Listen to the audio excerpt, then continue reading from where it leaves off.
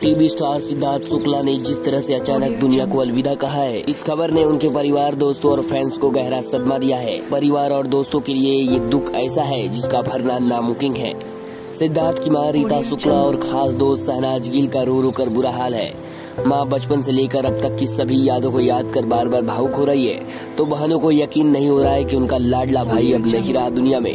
वहीं शहनाज की तस्वीरें लोगों को भावुक कर रही है। तो अंतिम संस्कार के बाद शहनाज गिल के भाई शहबाज भी खुद को रोक नहीं पाए और उन्होंने सोशल मीडिया पर सिद्धार्थ शुक्ला के लिए एक इमोशनल नोट शेयर कर दिया। शहबाज की सिद्धार्थ शुक्ला मुलाकात बिग बॉस थर्टी में हुई थी।